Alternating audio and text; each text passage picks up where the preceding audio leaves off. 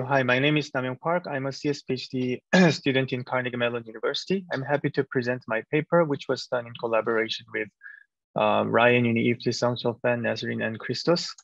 In this paper, we address the graph clustering problem. Uh, more specifically, uh, we aim to answer this question, uh, given a network dataset and node features, how can we find the communities of um, similar nodes in an unsupervised manner?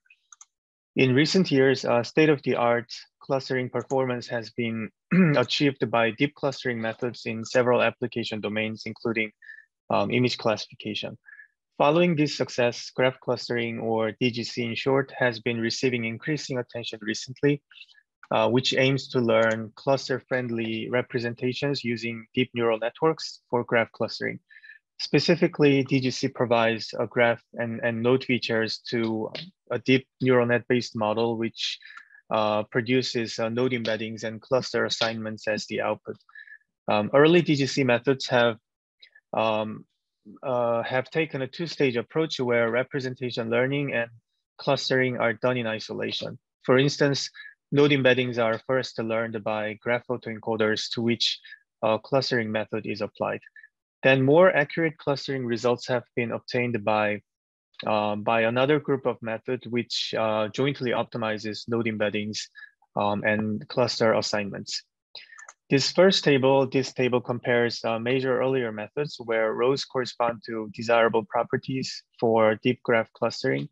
In uh, these, these DGC methods, a major challenge lies in how to um, effectively utilize um, available signals uh, uh, from the input data, such as input node features, graph structures, and community structures um, uh, latent in them. Uh, existing methods, however, do not satisfy all of these uh, desirable properties at the same time. Also, um, also to make the most of uh, graph structure and node features, existing methods try the different modeling choices. Uh, for instance, in terms of encoder architectures. However, differences among them are relatively uh, small. They mainly perform reconstruction-based uh, reconstruction loss minimization in an uh, autoencoder-based framework, and they also employ the clustering objective, which was um, first proposed in one of the earliest methods. So in this paper, we propose a method named CGC, uh, contrastive graph clustering, which is an effective uh, novel deep graph clustering framework based on contrastive learning. Um, as this figure shows over multiple static and temporal data sets, the proposed method consistently outperforms competitors, achieving up to 28% higher node clustering accuracy. Um, also, in comparison to earlier methods, uh, CGC satisfies all these uh, re uh, requirements and also employs a contrastive learning-based objective, which uh, is greatly different from that used in existing methods. Um, I'll first briefly introduce contrastive learning. Here, the figure, this figure shows how contrastive learning optimizes the embeddings of entities. Um, the main idea is to pull an entity here called an anchor uh, closer to its uh, positive sample in the embedding space, uh, where positive sample, a positive sample is an entity that belongs to the same class as the um, anchor entity, while pushing the anchor away from its negative sample. When there are no labels, uh, the choice of positive and negative samples plays a crucial role in contrastive learning. Uh, for image data, for instance, positive samples are often take, uh, obtained by taking different views of the data. For instance, uh, via data augmentation techniques such as um, color distortion and resizing. And negative samples are often randomly selected from the entire pool of samples. Uh, then given no ground truth node labels, how can we utilize contrastive learning for graph clustering?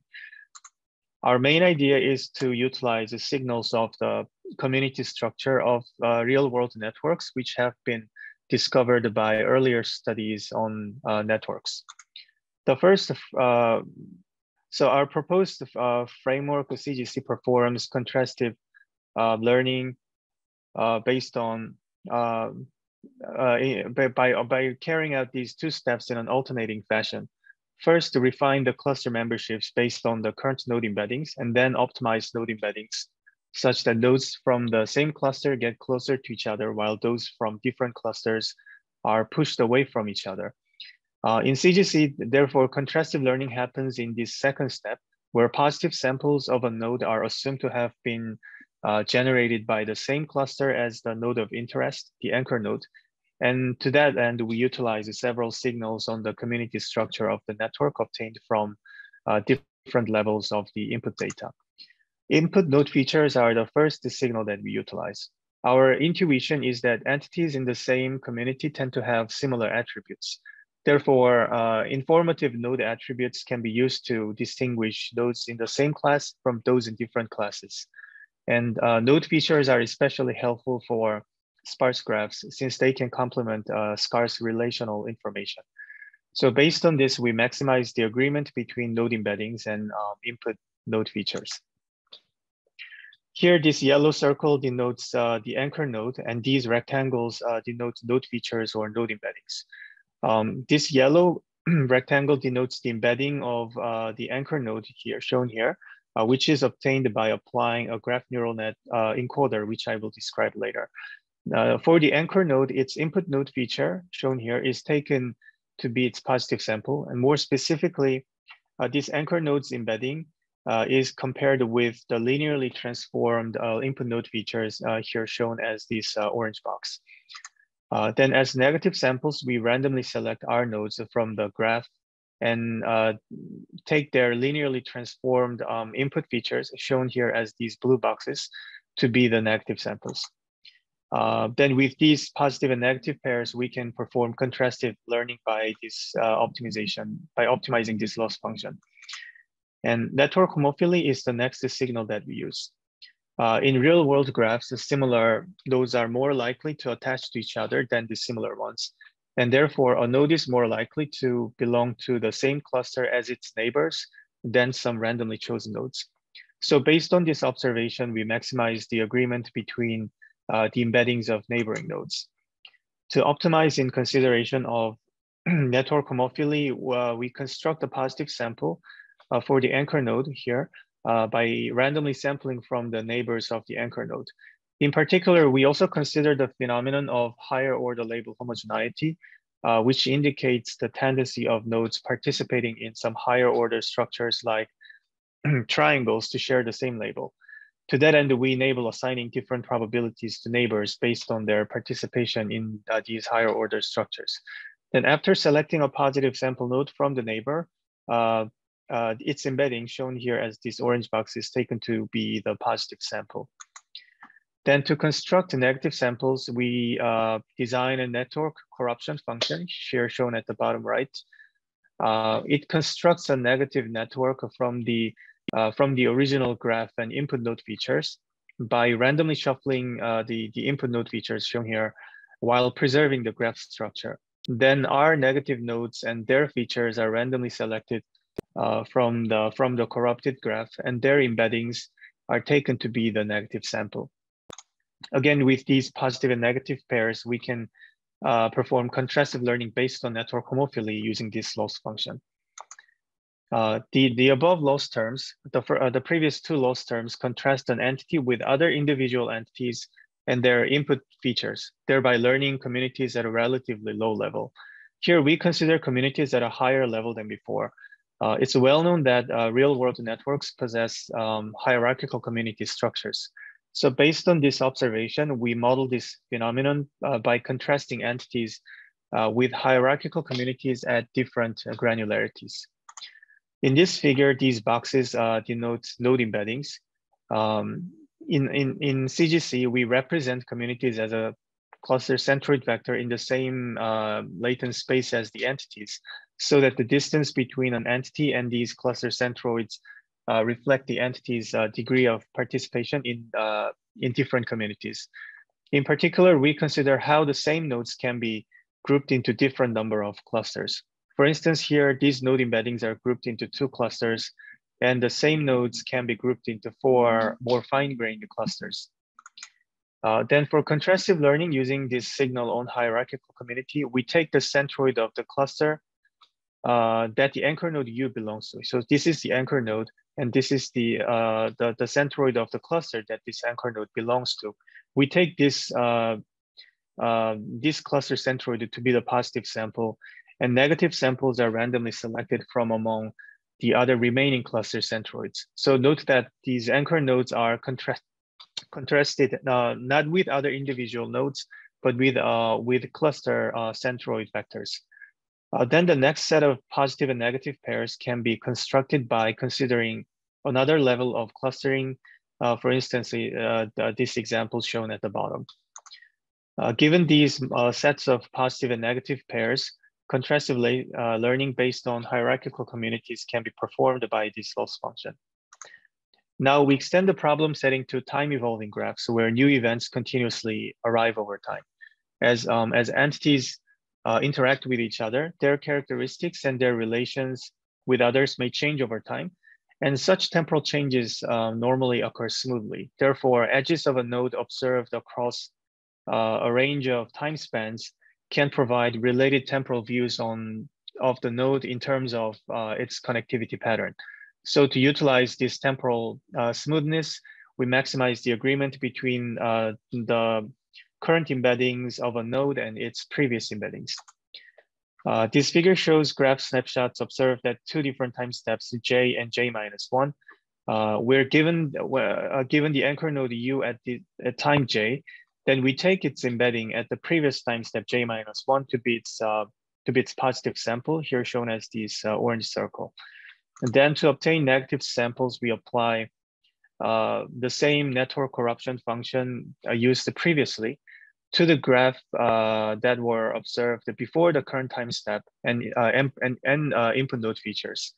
Then uh, node embeddings from uh, these corrupted networks, uh, which correspond to the um, anchor node U, are taken as the negative samples of the anchor node. Um, again, with once we have these positive and negative pairs, contrastive learning in consideration of temporal evolution can be performed using this loss function.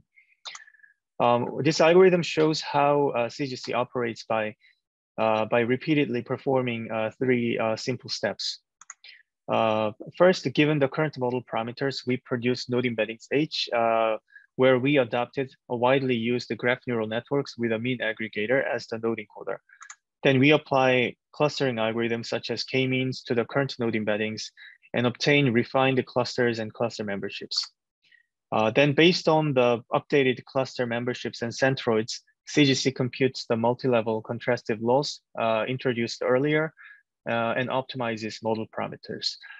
Uh, when new events uh, occur over time, then we can extend these algorithms such that it performs these steps repeatedly as new graph snapshots arrive using this extended multi-level contrastive loss. Um, in experiment, we answered these two research questions. First, how accurately can CGC perform node clustering? Um, and second, how useful is the cluster membership uh, learned by the method in temporal link prediction? Uh, so these are node clustering results over four static baselines where we are showing two widely used metrics on clustering quality. Our proposed CGC consistently outperforms all static baselines shown here, uh, achieving up to 28% higher clustering accuracy than the uh, best deep graph clustering baseline. We extended the experiment to temporal graph setting. Um, here we are, we are reporting the clustering performance averaged over multiple time steps. For static baselines, we perform the clustering using all cumulative graph, graph snapshots by default. And we also report the result obtained with using just the latest snapshot at each time. Um, again, overall, the proposed method outperforms both uh, static and temporal uh, baselines, achieving nearly 400% higher NMI than the best baseline. Um, this figure shows how, accurate, how accuracy and NMI of these methods change over time. The baseline's performance shows some upward trend, but their improvement is not significant. On the other hand, the CGC's performance uh, remarkably uh, improves over time. Uh, in temporal link prediction experiment, we estimated whether two nodes i and j will be connected at time t plus one, given their cluster memberships at the previous time step. The motivation of this uh, evaluation is that nodes in the same cluster tend to form a link between them. Uh, in experiments involving uh, three, uh, three data sets, the proposed CGC uh, performs better than both the static and temporal baselines consistently, achieving up to 29% higher link prediction performance and uh, these figures show how the performance changes over time where CGC uh, wins for most time steps. Um, so to summarize, um, in this work, we presented uh, CGC, a, a, novel contrastive graph clustering framework, and showed that uh, CGC consistently achieves the best clustering performance on multiple static and temporal uh, graphs. Um, Many thanks for your presentation. Are there questions from the audience? For the moment being, I don't see any uh, questions in the chat. Maybe I have a, uh, let me ask a first question, please. So when you talk about the temporal prediction, which is quite interesting uh, for me, mm -hmm. running the temporal web analytics workshop uh, of this conference. So what is the level of temporal granularity? This is monthly, uh, as you indicate? Um, this is um, yeah, that actually depends on the data set. Um, so um, so the, the snapshot interval for one of the data set was uh, 12 hours, and the longest was one year for DBLP. And uh, for other two data, temporal data sets like Foursquare data sets, the snapshot interval was uh, 30 days. So yeah, okay. it rained, yeah. And, and how many instances do you have for each? Uh, so how many, uh, what, how long was the span? So how many instances did you compare or analyze? How many instances? Uh, I mean, if, if you say now you have 12 hours, 12 hours, 12 hours, so did you take now an interval of a week or how long did you analyze this? And so how many different uh, intervals did you predict? Um, so the prediction is made only for the uh, for the latest interval, given the community, sorry, okay. given the cluster memberships that were learned using all previous uh, yeah, okay. edges. Okay, so okay. Yeah. So there's, yeah, only, there's only one prediction then, I see. Yeah, yeah, yeah. Yeah, it's not it's not really predicting forward into the future. We're just using this task for evaluating the clustering quality because we don't have ground truth labels for some of the data sets. I understand, but uh, one could have done uh, more predictions to the to the past in the past. More predictions.